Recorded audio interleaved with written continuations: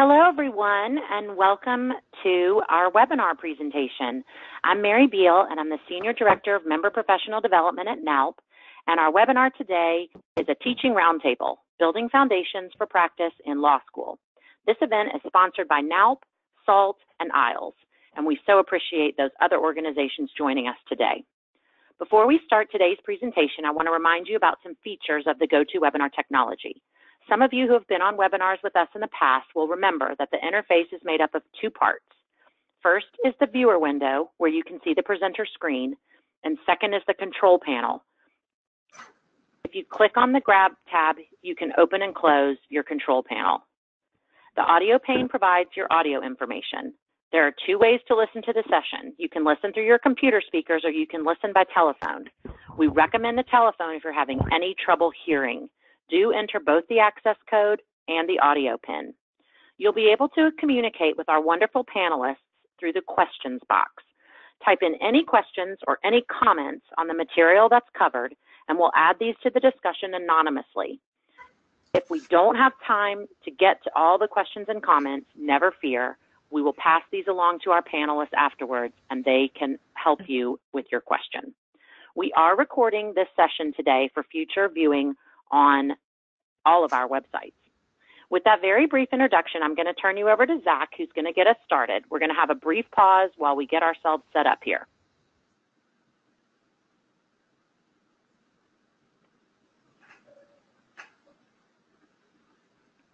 All right, you're great. Excellent. Okay, hi everyone. I am Alli Gerkman. I'm a senior director at IAALS, the Institute for the Advancement of the American Legal System.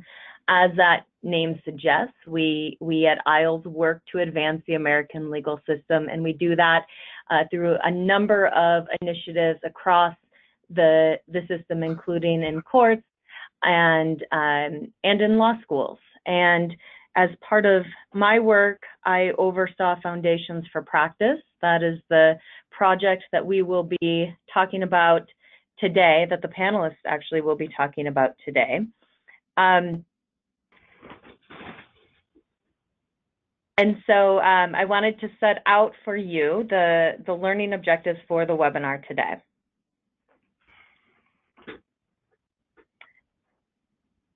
First, uh, our webinar will introduce the information we've learned from our Foundations for Practice project. Uh, Zach DeMeola, my colleague, will be walking you through the highlights of the findings so that we're all on the same page as we get started with this panel discussion. Second, we will showcase how law schools across the country are currently using the foundation study.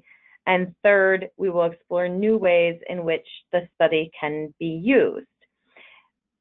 Today, we really, uh, the, the presentation on Foundations for Practice will be kept short because what we really want to do is highlight the panelists and the different ways that uh, different people in law schools are using Foundations for Practice in the hopes that it gives others uh, ideas and inspiration to take the findings and do something new at their own schools. Um, after we have the panelists walk through and talk about the ways that they have been using um, using foundations for practice, we will have a, a short opportunity to do a little Q&A. I will also give you a little background on uh, the Foundations for Practice project and where it's headed now. Because while we have conducted the study and that is complete and all of that information is widely available for all of you to use, uh, we are actually in a second phase that we're excited about and we'll share just a little bit more of that uh, before we wrap up today. And so with that, I would like to turn this over to Zach DeMeola, who's going to take a few minutes to get you all up to speed on what you need to know about Foundations for Practice. Thank you, Ali. Um, my name is Zach DeMeola, and I'm a manager at IAALS. I, I, work with Ali on the Foundations for Practice project. And as Ali said, I'm going to just dive right into the findings of our study to make sure that we're all on the same page for this webinar. Um, you can learn more about our data and the methodology uh, for this study in our detailed reports and all those are available on the IAALS website. So IAALS created the Foundations for Practice project with three goals in mind at the outset. First, we could help the profession define exactly what skills or qualities they believe students need to be successful lawyers. Second, we could help law schools to adopt these skills and qualities into their own curriculum. And third, we could help employers develop clear and consistent hiring rubrics, taking all this information into account. So in other words, when we say align market needs with hiring practices, what we're saying is we want employers to hire based on what they tell us is important for new lawyers. We surveyed lawyers across the country and we received over 24,000 valid responses from attorneys in all 50 states across a wide variety of practice settings, from private practice and in-house counsel to government attorneys and public defenders. From a list of 147 different legal skills, professional competencies, and characteristics, our respondents identified 77 foundations that they believe new associates need right out of law school. And this is what the top 20 items chosen by practitioners across states and practice areas looks like. These foundations had the most number of respondents that said they were necessary right out of law school. And if you take a moment, you can see some of these are very fundamental. Keep confidentiality, arriving on time, for instance. But what jumped out to us, the first thing we noticed at IAALS, was that only one traditional legal skill made the list, and that was legal research. What were the other foundations? Professional competencies had a very good showing, and you can see here they're all highlighted in the top 20. Now, a professional competency is a broad uh, ability that's useful in any professional setting, not just uh, the legal profession.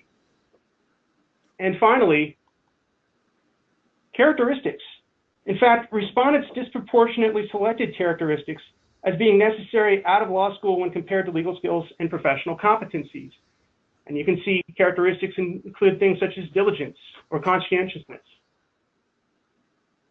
So the combination of the 77 foundations respondents identified as necessary right out of law school is what we call the whole lawyer. Ultimately, it takes more than just legal skills to make a good lawyer. New lawyers need a combination of foundations. And we refer to the emphasis on characteristics among practitioners as a need for character quotient. We also asked our survey respondents about developing these foundations and what students could do to demonstrate that they had them to future employers. Now, we didn't ask, how do you currently hire new attorneys? Instead, we wanted to know what it would look like if employers actually hired based on what they just told us they needed. So here's what we found. Respondents identified 17 different hiring criteria that would help them determine if a candidate had foundations that, that they were looking for. And no one thought any of these were unhelpful. Uh, some were just relatively more helpful than others. And I'm sure a lot of these look familiar to, to our audience here, law school attended class rank, journal experience. But here's what's interesting. When you rank these from most helpful to relatively less helpful, here's what it looks like. And what's interesting is that experience matters. Many of the most helpful accomplishments are based on some sort of practical experience. As you can see here, we've highlighted those in red, rather than academic or personal experience. So overall results show us that previous legal employment is one of the most helpful criteria in hiring new lawyers. Other examples are, for instance, legal externships, other experiential education, or clerkships. Now, these results you see here are constant across law firm sizes, different practice groups, and there are very few variations. So, for instance, law firms with over 100 attorneys do emphasize class rank and law school attended more than others, and they move up on this chart for, the, for those employers. While public defenders, for instance, emphasize clinical experience more than others. But the practical experiences highlighted in red here are still in the top 10 for all practice settings and firm sizes. Now, this information may be helpful for students to be more employable, but also better lawyers for their clients. So how are law schools using what IAALS has learned through Foundations for Practice? Well, I'm going to turn that question over to Chrissy Cerniglia right now.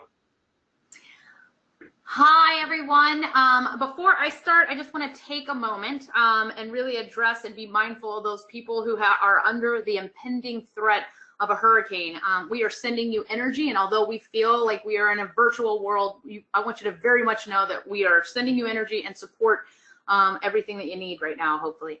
Um, with that said, we are really excited about this moment um, that is coming to fruition. Um, we are excited to hear that over 179 um, registrants for this particular webinar are present and here and, and want to learn more. And so part of this um, has come to fruition um, really just through some hard work and energy and commitment of everybody that you're about to hear from. Um, I, as somebody um, who is a firm believer in the Foundations to Practice um, study, I have been using it for a while, but I get really energized when I hear about how other schools are using it. So, Zach, if you go to the next slide. Um, what it has done for me is I literally think about this conceptually. So, our law school experience basically travels across this continuum, right? And it is a linear experience for our students. And it usually starts at orientation or in 1L year where we are building doctrine and we are teaching through sometimes a Socratic method, sometimes we're integrating experiences. And then they go out after their first year, uh, first year, and we release them into a summer experience, um, which can be structured or unstructured. Um, and then they come back on campus usually in their 2L year and we build more doctrine and theory. We have sometimes upper level courses um, and those upper level courses might be ex externships or clinics. Um, and they keep traveling through more experiences, going back out over the summer. Um, and it might be through um, career development through that 2L summer experience um, where they are doing on-campus interviewing, um, and they are out literally about learning and how they're learning and how they're gaining experience is something that is really interesting to study. Um, and then of course their 3L year, you know the mantra, um, sometimes we bore them to death in their 3L year. And so what's interesting to me is we are now living in an era where we now have learning objectives and um, learning that are dictated by the ABA that we have to produce. And schools have now started publishing those learning objectives and the administrators and dean's offices and faculty across the country are trying to figure out whether all of these experiences operating somewhat in siloed portions are being able to further develop students toward those learning objectives. So there's an all-encompassing feature that administrators now have to figure out um, whether or not they are assessing these experiences in a way that further that development. But we're doing it many times through a siloed lens and a siloed approach. And what I love about the foundation study is it actually allows us to break down some silos. Um, Zach, you can go to the next slide and start looking at it from a horizontal perspective um, and share a common vocabulary. So what you're about to hear today, um, and this is our, our nice animation about breaking down silos, is really trying to figure out ways to integrate and talk in a common vocabulary with employers, career development, um, first year professors, externship coordinators, externship professors, experiential deans, um, and then our task the collectively um, geared toward assessment. And so what you will hear is how other schools are doing that and how some professors are integrating the Foundations to Practice survey in their class and requiring it as building this common vocabulary. There is not a better way for me to hand this baton over than to hand it to Dory, who will share with you how she uses the survey. So I hope you're all as excited as I am. Uh, all right. Hello. Uh, I'm happy to be here. I am Theodora Pina um, at Santa Clara. I, I had seen um, Christy's slides a few days ago, and I said I, it's kind of a tough act to follow after a gift, but I don't have any animations quite like that, but I'm going to try. Um, so the um, this came to be. I was giving a presentation at a um, at a conference and referenced uh, the foundation's uh, study that I used, and Chrissy um, kind of ran with it from there, and, and so here we are today. So next slide, Zach. Let's just go ahead and jump right into it. Um, I do teach, uh, I am the director of the externship program, so I teach and uh, am responsible for that, um, that curriculum within the, within the externship classes. And then I also teach a um, first year, Santa Clara just started a mandatory first year required um, critical skills class, as we call it. So uh, between those two classes, um, the foundation is, um, the, their study is, is crucial to me. It's, it's, it's what I teach. I, I think it's, um, necessary to, to say that that's, that's, you know, that study is really lays the foundation of, of what to teach, of why to teach it, number two, and then it also provides a common language, and I'll go through um, each one of these individually. But as that slide says, it really does set the tone for externship classes, and then in a minute, I will talk about um, also setting the tone for a first year um, professional skills class. So um, next slide, Zach. So um, the foundation um, tells us what to teach, and that's a, um, a quote directly from the very, I think, beginning of, of the um, of the study. And it's it's as a as a clinical professor and as a as an externship professor and then a, a, a professional skills, what I see is that um, what I've seen an awful lot in talking to colleagues and going to to um, to, to to conferences is that there's sometimes that we sometimes struggle on on what we teach. You know, what what are professional skills? How do we teach them? How you know what is an externship class? What should we be teaching there? And for me, um, when I came across this study, I really did find it uh, life changing in the sense of my classes. So I mean, I practiced for years and years as a practicing attorney, as a civil litigator. So I knew all of these things. I knew what first year associates needed to, needed to come in with. But this study um, gave me the way to be able to say, aha, this is not just in my head. This is now going to be able to be translated for students. And Zach, at the beginning of this um, webinar, he gave you those statistics. I mean, it's, it's, it's impressive. It's 24, you know, it's not just what I think or, you know, my Uncle Harry thinks. It's, they went out there and did all the hard work for us. Um, and so what we should be teaching is, to me, um, are the competencies identified by legal employers that first year associates need, that first year associates need to show up with.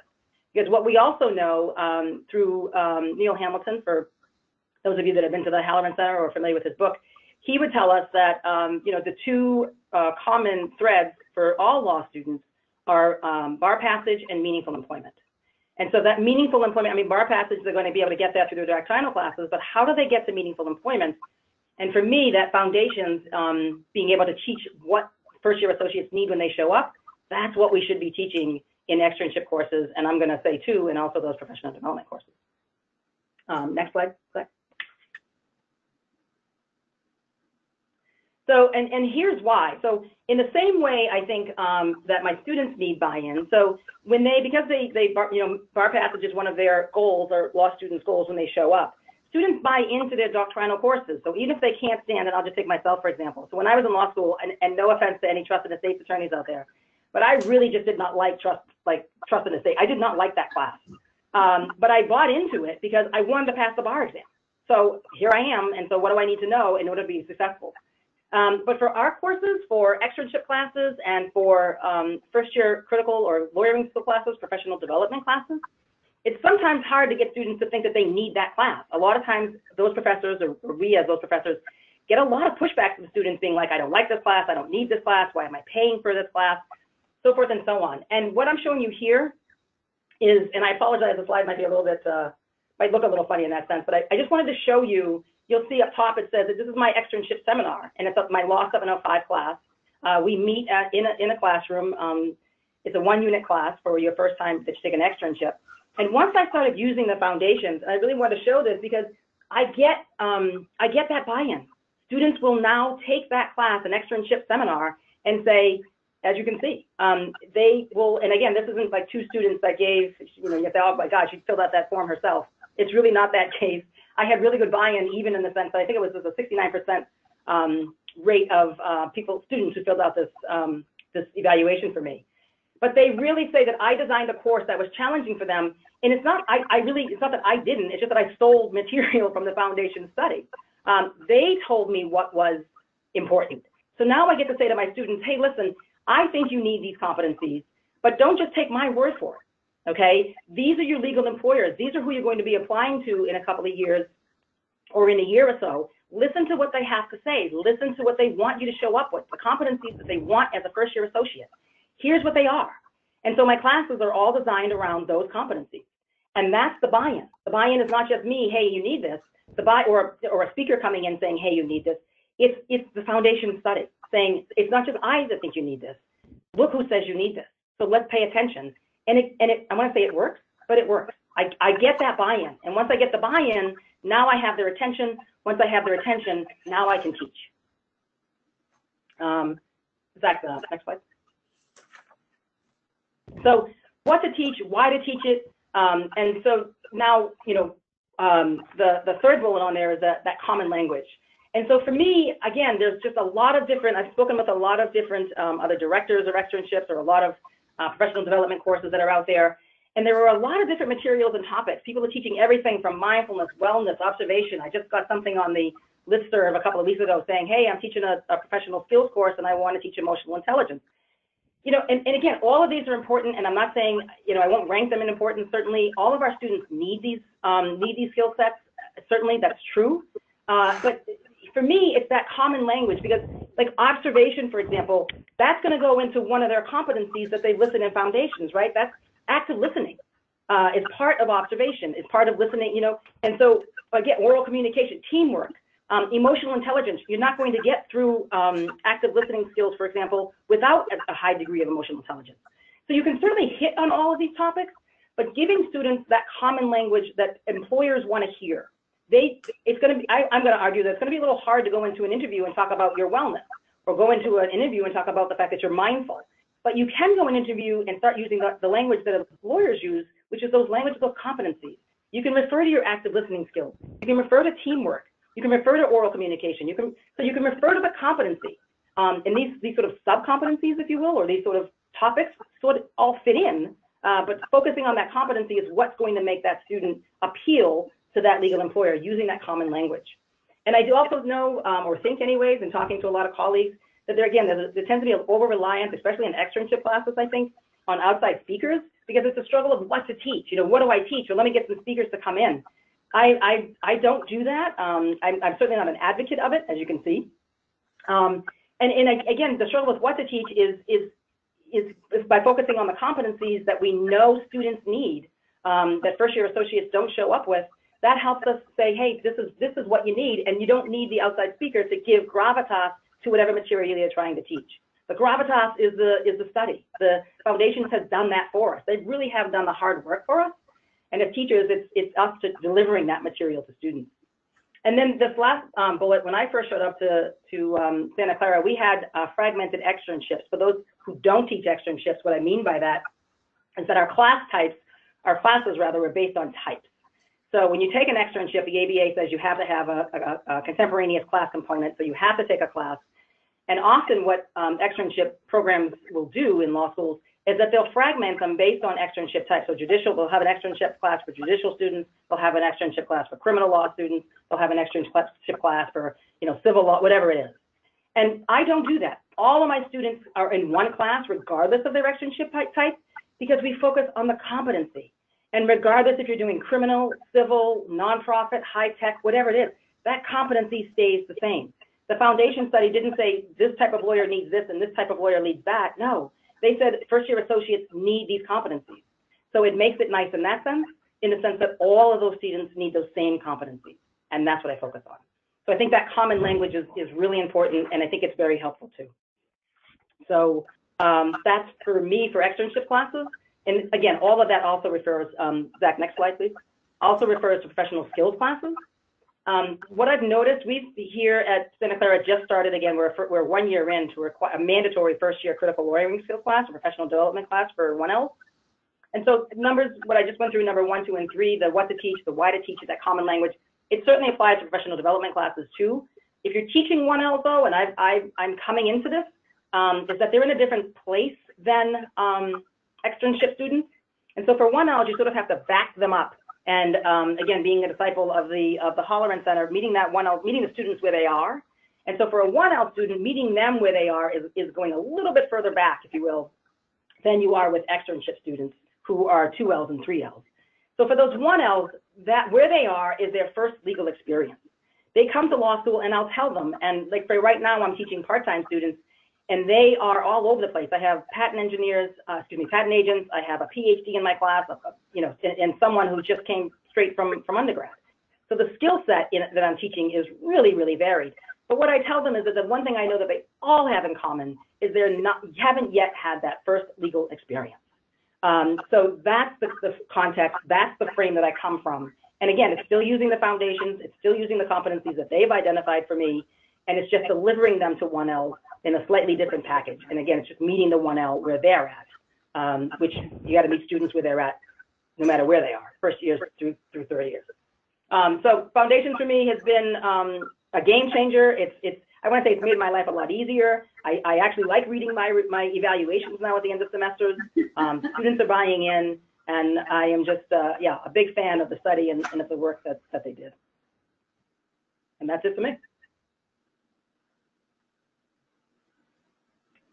All right, I guess this is where I jump in.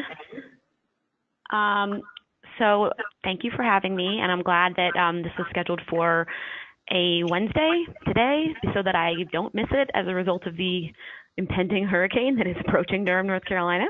Um, hopefully, it will continue on its southern track and not do too much damage here, but we'll see. Um, but we will be fine. Um, so, I am the Assistant Dean of the Career and Professional Development Center here at Duke Law School. And um, I really, I, have used this study um, in, in two main ways. One is to engage um, our students, and one is to engage our, our faculty. And so I'm going to start by talking about um, how we use it in connection with our students, specifically 1Ls. So Zach, if you go to the next slide.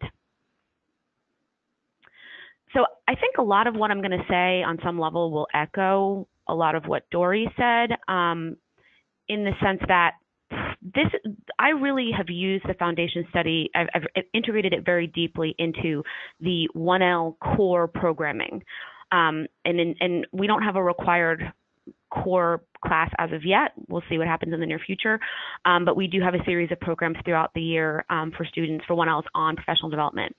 Um, this study, I believe it came out shortly after I started, or right around the time when I started at Duke. Um, and so I feel like this study, this study is very personal because I think it has actually shaped a lot of how I think about professional development. Um, it also came at a time where, as I had just started, um, I was starting to get into all these conversations with you know, particularly with employers about you know, what it is that they want to see from our students and what it is that they're not seeing, um, but also internally um, with members of my department who, you know, we all work very closely with the students um, from faculty. There just seemed to be a lot of common themes across the board. Um, and so what I decided to do with this study up front was incorporate it into um, our second required program of the year, um, and, and, that program is really structured around this study. So that program is our professional communication program.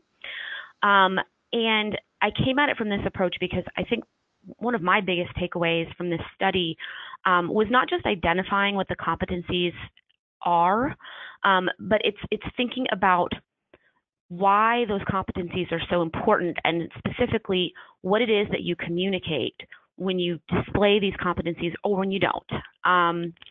Obviously I had to distill the study because it's it's a large study, um, and I decided to focus on the top 10 skills that were identified as necessary in the short term.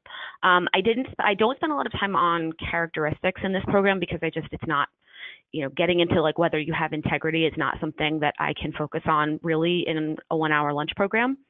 Um, but but by using these competencies, um, I'm able to um, distill a lot of the basics that we think 1Ls need to know, um, and and do it in a way where, as Dory said, hopefully they're actually listening to us because again, it's about the buy-in. It's me standing in front of the room and saying, "Don't take my word for it. You know, listen to these 24,000 plus lawyers who have identified these things." Um, the list here is really great because it makes it seem very manageable for the 1Ls. So I'm not telling them, here's a bunch more stuff that you have to pile on your plate, right? When you're trying to learn how to do law school. A lot of these are very simple things.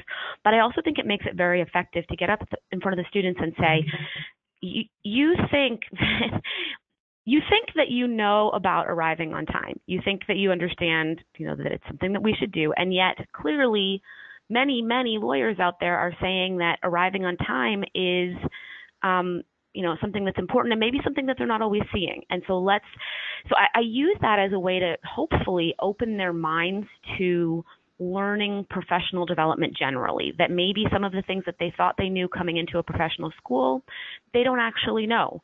Or um, you know the expectations are higher once they're in professional school. And so uh, like again like dory said kind of bringing it back to where they are at the very beginning but but trying to break them out of any preconceived notions that they have um, coming in. The other thing that I've done with this study in this program is I actually co-present with a member of our legal writing faculty. Um, and the reason for that is these competencies, what we've what we've explored and what we really want to communicate to the students is these competencies are equally important to be successful in law school. And in fact, learning them to be successful in law school is how you then learn them in your first legal job and beyond. Um, and so having faculty buy-in in that program, I think, um, makes it seem less siloed. Like in the first, the animated slide that was so cool about, you know, breaking down the silos that we're not teaching them something that's supposed to be in a vacuum. We're teaching them something that's important for their classes, for their activities, for their summer jobs, for their careers in general. Um, so that's really what we do with the 1Ls. Um, the second way that I use this study, um, Zach can go to the next slide. Thank you. Um, so this is a bit dated at this point, um, but uh, I, I, use it to make a broader point. Um, this study has been incredibly helpful for us to engage with our faculty, um, partly just because it's data, right? I mean, it's it's it's data. As as as much as you can turn things like characteristics and competencies into data, this is it. The study shows that building these professional competencies is becoming as important as the more traditional substantive aspects of law school. And I think this is something that's I, am going to imagine that a lot of schools are dealing with this in that law school is very traditional. Um, law schools tend to have very formal curriculums, and I know this is changing, but um, it's a profession that has evolved a lot from um, a very intellectual and sort of elite profession into one that's a lot more engaged with the rest of the world and integrated into different industries and markets. And so, um, although I think that the vast majority of faculty are very much on the same page as us in terms of how important it is to incorporate these professional competency aspects into an overall legal education, we're in a we're in, we're just we're in a very traditional, very structured environment, and and change is hard, um, and so what we did to kind of explore these issues more deeply with our faculty is put together a I called it a proposal. That's really a very loose, loose use of the word proposal, um, but kind of just a report to show the faculty to distill this study for them if they weren't already familiar with it, um, and then start a dialogue about how um, we can be working together to incorporate these different things um, into the entire law school experience. Um, and I will say that our faculty curriculum committee is we're moving towards the professional the more formal professional development program um, and i think that having a study like this that really does identify a lot of the same learning objectives and learning outcomes that we use for our doctrinal classes um, i think will be instrumental in executing this um, so that's that's really how I've used it. Um, again, I, I, think a lot of it echoes what Dory said, but but I really I, I, think for me the most important thing, getting back to the 1Ls, but also overall is using the study to teach them why these things are important, not just what it is that they need to learn, um, but but exploring with them, taking the study as a starting point and exploring with them, okay, now we have this data, what does it mean? What does it mean that you need to learn? Um, and why are these things important? And I think when you get to the why, that's when you really start to engage um, the 1Ls from day one. And that's what I have, so I will turn it over to Paul. Great, thanks. Thanks, Julia. Uh, happy to follow up. Oh, uh, there we go. That looks like me. Yeah, so I'm Paul Holland, Vice Dean and Associate Professor of Law at Seattle University School of Law. As a teacher, as a member of the faculty, you know, I, I love uh, the content that's emerged from foundations, and I, I, love the conversations that I've had with my colleagues in, in the clinic and externship programs, which are similar to the ones that you've already heard about. So I'm not going to uh, revisit that, except to, to just, just note that we have been able to um, extend that group uh, to include our, our, librarians and our, our legal writing faculty uh, so that our legal writing faculty are in the first year asking students um, to look over the, the list of, of characteristics and to highlight those on the list that they think they already bring right, right when they're starting to look at those that they think they might be able to attain within the particular course that they're that they're taking and those that they know it's going to take some time so that they, they get this conversation going early that they really do conceive of law school from the beginning as not simply more education, right? But it really is a it's professional development, and so we really do see that transition not merely as students. We need them to be students, um, but we also need them to be professionals from day one, and and the foundations has given us a chance to do that. But what I think I can add to this uh, conversation is more in my my other role, my vice dean role, where among my responsibilities is to make sure that we are doing assessment of learning outcomes, as all schools now are required to do. And within the last week, right, I've had two two occasions to really be engaged with that. The first was our initial faculty meeting of the year, uh, in which we were presenting uh, the data from last year's assessment activity. Right, we assessed one of our learning outcomes, and as the cycle of assessment goes, you tell the rest of the faculty, you know, how students performed on the particular uh, activity that was chosen to see how well they were doing with the outcome that we've identified and then discuss what we're going to do to adapt to those results. How do we feel about the results? Are they actually acquiring the skill? In this case, it was a, a skill about, you know, sort of very basic legal skill, right? To be able to identify which of the various arguments that might be available in a particular situation is likely to be the strongest and to coherently explain, make the case for why that would be so.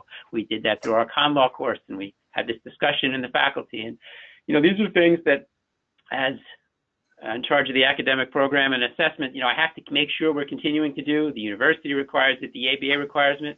The faculty, they are not yet fully crazy about the idea. They, you know, they they do see it as some members of our faculty, as I think are true at many schools, you see this as something akin to a compliance exercise. You know, where we're just checking a box to show people that we're performing this task. Um, but it really is, you know, potentially so much more meaningful. Um, and you know, the other uh, experience I had recently was after the faculty meeting, went to the ABA workshop on site visits where they hammered us away again about assessment of learning outcomes. And what I'm going to talk about in these next couple of minutes is the opportunity my school has had working with IAALS to uh, get past that mere compliance and really make assessment of learning outcomes something that is integral both to our educational program but also to students' employment. So Zach, you could uh, hit the next slide there because what we've been able to do in what's this second stage of IAALS is to extend the conversation now and to have a direct engagement with the employers in our area. Some of them may have been original respondents in the uh, in the study, uh, but most of them probably were not. But we were invited by IAALS to take part in this process, whereby they would uh, convene a group of employers in our area, uh, selected by us. Uh, then we would um, we would have a, a group within the, the law school uh, faculty and staff in, in, important positions related to the foundation to also discuss the results of the study. And then the two groups would get together. And, and this conversation right now, we're at the point where each of those two separate conversations has happened. Uh, and then we will soon have the, the big convening, the joint one, uh, where we will be able to uh, build, as the, as the slide suggests, a shared framework where we'll be able to actually really hear from the employers, not just you know how they might have responded to the survey, but how it looked to them, their feedback on it when they saw the results. And we have already spoken to, you know, we, we actually, Zach, why don't you jump two slides ahead? Right. So we, we identified this group of employers, as I noted, uh, consistent with the report, but also with our own interest in wanting to make sure we were talking to the entire legal community in our area. The group was diverse in, in both the size of the practice, the nature of the practice, public, private, government, nonprofit, big, small. Uh, and you know, we got really, really strong feedback from from those folks that we had tapped to this that that the conversation was really interesting. It was enjoyable. You know, and some some firms and some organizations, I think, have these conversations within themselves more systematically on a regular basis. I think many don't. Um, and so the report initially, and then this opportunity to engage with the report, has certainly uh, created a buzz within our legal community that, that now the foundations are part of the jargon. They're things that we can refer to that are uh, our career services people can refer to, that our students can refer to as we train them up in this language. We're essentially you know, planting the seeds for this conversation so that we are working together on what matters, right? And that's what uh, what this opportunity has really given to us.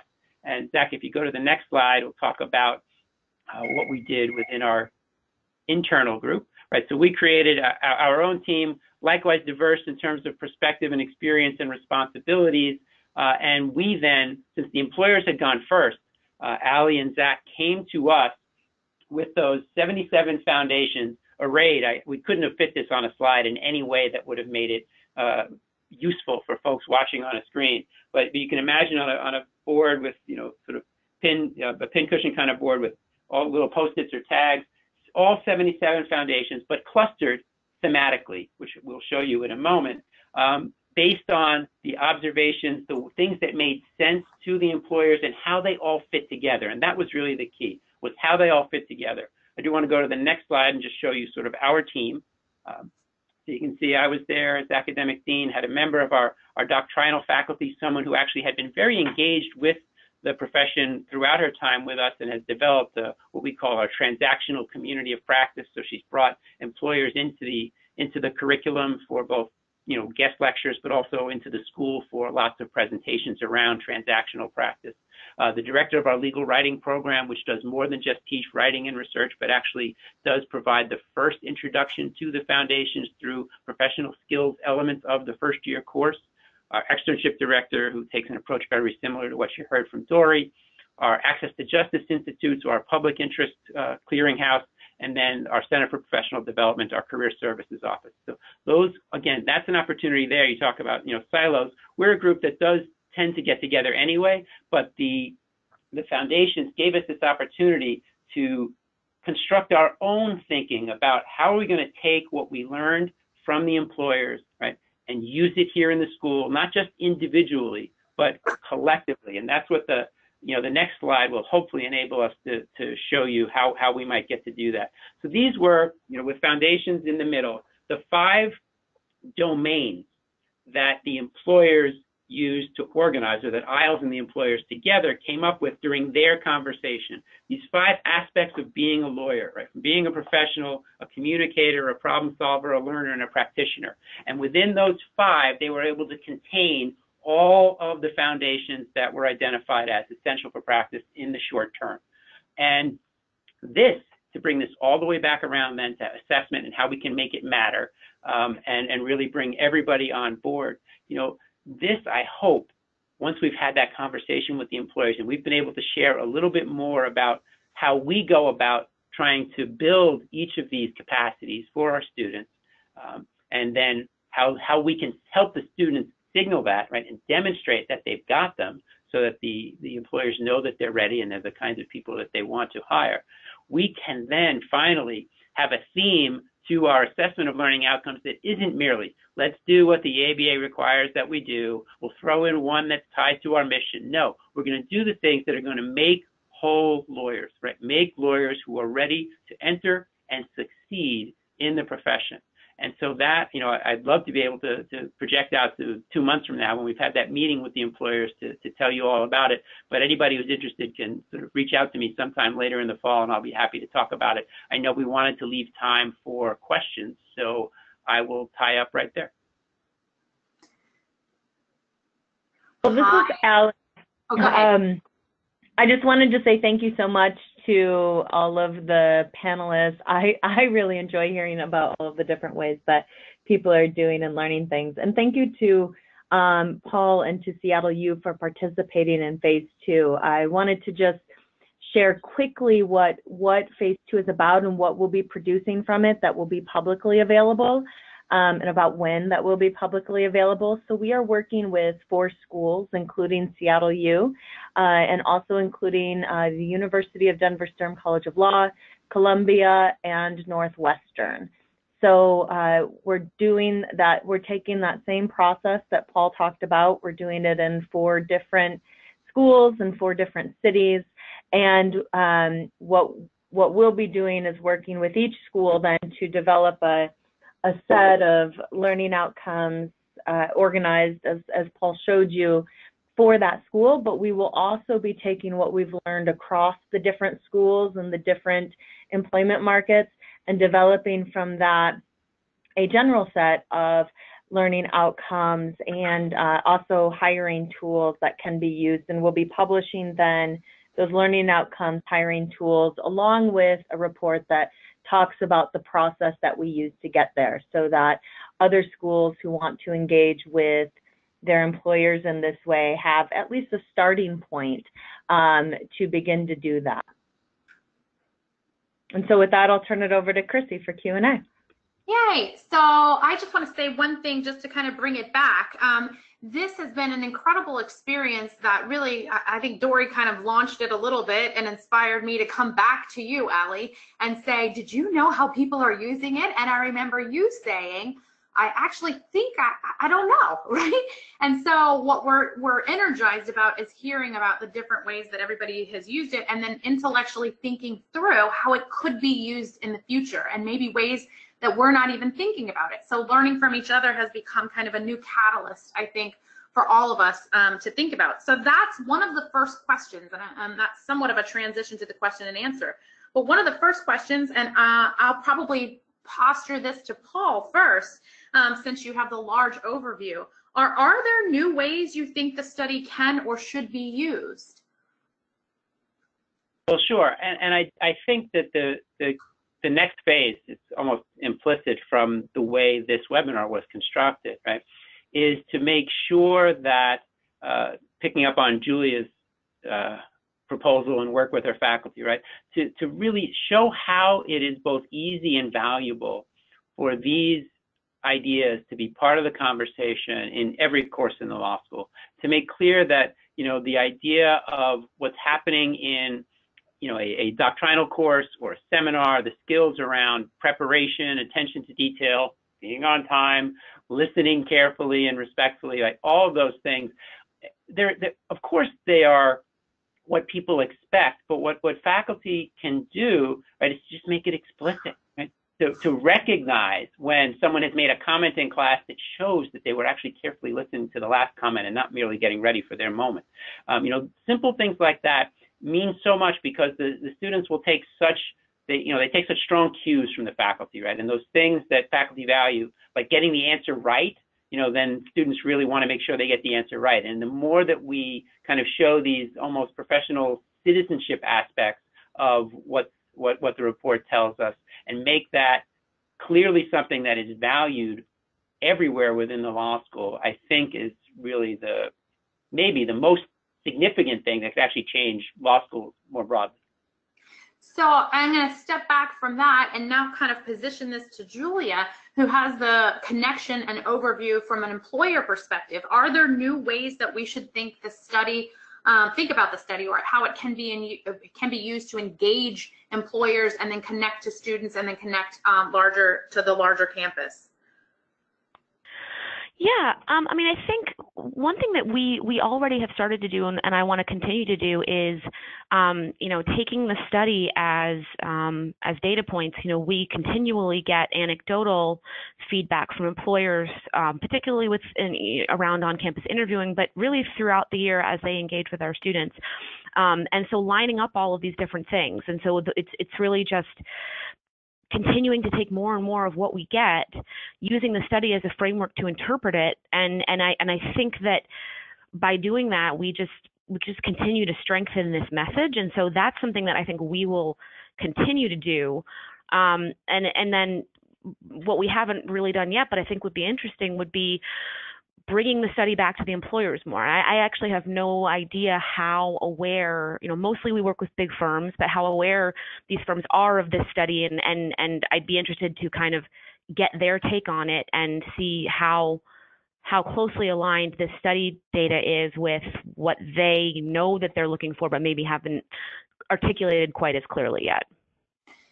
Um, and I think Alli might have something to say on this, but I'm going to wait um, and and cue in Dory um, Dory, are there ways that you're thinking about using the study in, in different ways in your both of your classrooms? Um, sure, eh, but you know, I'm going to answer that question by by sort of backing up again um, and saying, I, you know, I guess meeting meeting uh, uh, clinical professors where we're at. And so for me, um, you know, not enough, um, certainly externship classes and not enough professional development classes from what I've seen anyways, haven't, haven't adopted the study to begin with. Um, and so, you know, I want to kind of say that I, I, I, I don't want to think about tomorrow until I can convince everybody to start doing this today. Um, so the study, you know, it, it, it should be used, it should be in, you know, the, the foundation, if you will, no pun intended, for, for professional development classes and for externship classes. So for me, I mean, I'm happy to think about, you know, how it may be used tomorrow, but I'm, I'm super interested in, in getting the buy-in and having, um, you know, people in my position in law schools use it today. And then um, if I can call upon Alli real quick, because Alli and I have these great philosophical conversations about, you know, how would the legal um, market change if, if we started using learning outcomes that were tethered and not so much um, concocted in a silo, but actually um, connecting, right, in, in, a way that is really meaningful. And so I know you have a lot to say on this, Alli, and I'm wondering if you can kind of segue from there. Yeah, um, well, one of the things I'll note, so we've been doing a lot of work with employers, uh, both through the second phase foundations, but also as we were doing the study, we were holding informal workshops to um, talk with folks and get reactions to feedback, so, or get reactions, sorry, to the study so that we could have a better sense of what we were seeing. And um, in in general, what we what we get from employers is a lot of a lot of buy-in that that these are in fact the things that they want. Now, um, what what then is uh, on us to do when when we get that buy-in, in in my view, is to then push back a little bit and, and ask them about how they're hiring, um, because I'm not surprised there's buy-in in part because core competency documents from firms were one of the things that we looked at in pulling together the survey. So um, it's not surprising at all uh, that that they would see things that resonate with them. The challenge is that often firms, and this is some, to some extent I'm talking about large firms here, but but the truth is that the way the legal market works, it feels like large firms hire in a certain way, and and other other employers, at least we'll say on the private firm side, may hire slightly differently, but to some extent they're they're looking for some of those similar similar academic criteria, right? So um, so I think it's broader than just a large firm question. Um, but but what we see is that they hire in a certain way, but then once people have come into the firm, they're um, advancing and promoting associates on very different criteria and, and on criteria that actually look a whole lot more like what we see in the foundation study. So the trick will be to see if we can figure out, and this is one of the things we're working on in phase two, to see if we can figure out how to provide some useful tools to employers who are looking to make better hires in the first instance, because there is an interest there in doing that. Um, and that doesn't mean they're going to throw out academic criteria, right? And we certainly don't even ask them to do that. But what we would like is for uh, employers to perhaps line that that traditional criteria that matters to them up alongside some of these other some of these other characteristics and competencies that are going to be what what really make a, a new a new employee sink or swim once they're on the job. So I'm going to keep you on the line if that's all right and put you on the spot again. So we've obviously heard a lot about foundations to practice, um, and there are other studies out there, right? So Shultz and Zedeck is, a, is an incredible study. Um, and so I'd like to talk a little bit, and there's a question that came in over this, of why use the foundations to practice study um, and how to use it in conjunction with or in comparison to other studies. And I don't know if you have an answer for that, um, but how you can tell maybe if there are some nuances here to think about. Sure. So I have a, a, ton of respect for the Shultz and Zedeck study. Um, and in fact, I mentioned that we use core competency documents from firms and pulling together um, the study that we did. We also uh, we also looked to the Shultz Zedeck study and looked at the you know important competencies that they identified in pulling together the study. Uh, we also looked to MacCrate, which was an ABA initiative to try to identify what it what it is that that lawyers need to have. Um, we looked at some others that have done been done by um, you know uh, other researchers in in smaller settings, um, looking just at their regions. I mean, I think part of why we felt that there was a need for um, a study is that we felt like there was a need for a nationwide study where we could really um, take a look at the demographics of the respondents, um, break it all down, see if things show up differently, get a sense for, you know, Shultz Zedeck was um, a, a study, a great, like I said, a great study of Berkeley alums. Um, we we wanted through this to build on what they did um, and and look at this through the the lens of a national study. Um, so our hope is that this this study stands on the shoulders of many other good studies that have come before it, um, and that it's you know one more step, step forward in gaining a better understanding of what it is that that new lawyers need. So I'm going to segue, and I'm being very mindful of time as well, but I'm going to segue to Dory to see if she has anything else to add to that response, because I know she equally has relied on Shultz and Zedeck and now relies on practice and maybe giving some insight into how she uses both. Um, yeah, I can, I can, I can just echo really what, what Alli just said, because it, this show, this study does stand on the shoulders of those studies and researchers that have come before it. So uh, in, in my class, actually, I have a slide and I, I show, um, I, Shultz Zedeck, I have relied on that, those 26 effectiveness factors. Um, MacCrate, I refer to that. Um, Neil Hamilton has done a lot of work in this area. I refer to him and then foundations, of course. And the nice thing is that it's, it's not a compare and contrast because as Zach said when he opened this up, right, his first slide, he was talking about identifying the foundations that entry level lawyers need. And all of those studies in one way or another, um, you know, Shultz Zedeck did looked at Berkeley alum, um, foundations did a national study. They still all identified the foundations that entry-level lawyers need. So these these these studies really do with foundations standing on the shoulders of. She's right. Alli's exactly right. So it's not a comparing. It's not a contrast. What I'm able to say is, look, the language might be different. So we're going to use, you know, arrive on time or, or keep confident. But the, those the, for Shultz for example, they have self-development as one of their competencies. Well, self-development is certainly going to, um, so the nice thing I like about foundations is that it, it, it gives you, I think, a little deeper, I think, uh, than Zedeck, and it gives you sort of a, a um, sort of a nomenclature that students, I think, uh, recognize a little bit easier. So self-development for them, they're easy to, they're able to say, oh, hey, I got self-development, what's the problem? I'm in law school, right? Um, but when you start breaking it down a little bit more, um, with a little bit more detail, like Foundations does, you know, arrive on time, honor commitment, so forth and so on, I think it becomes um, easier for them to to deliver the product for a professor, and then easier for the students to absorb it. So I'm I'm a huge fan of Shultz and all of the studies that that, that have come before. Um, and I think again, Alli is right. It, it, it, stands on the shoulders, and it's it's a perfect complement too, because it just identifies those competencies that entry level lawyers need.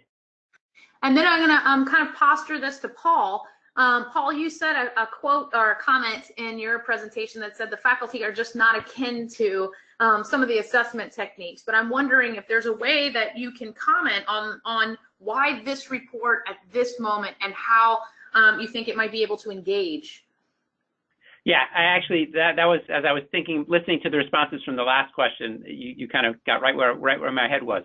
You know, I I, have used the other ones, MacCrate, any clinician uses MacCrate, uh, Shultz and Zedeck too, very valuable. You know, part of what, what happens now is, is timing, right? We are, we are in 2018. We are, we are in this new law school experience, right? Where enrollments are, are smaller than they were and hiring has gone through all the shakeout that we've had over the last 10 years. So having something that speaks to what lawyers need to both get and succeed at jobs now right? It just there's a there's a credibility in that that I think makes it something that people will pay attention to, and I think it is something that opens up a conversation as opposed to an excellent but older report from some time ago, right? And it's just it's you know it, it just suits the need for making sure that we're having these important conversations that we need to have right now using the terms and data that have been identified in this moment. I think that's the, the thing that gives us the, the best access for for really